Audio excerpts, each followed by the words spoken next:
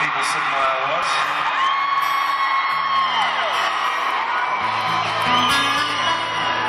And speaking of that 17-year-old Kid, this is for him. If I could write a letter to me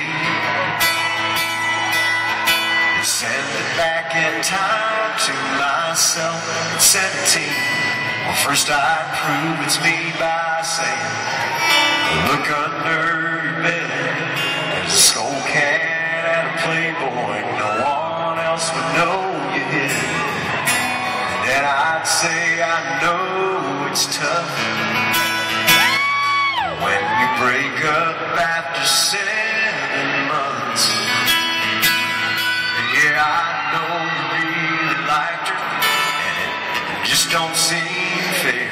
But all I can say is pain like that is fast, it's rare. So much going for you, going right, but I know. 17, it's hard to see past Friday night. Tonight's the bonfire rally.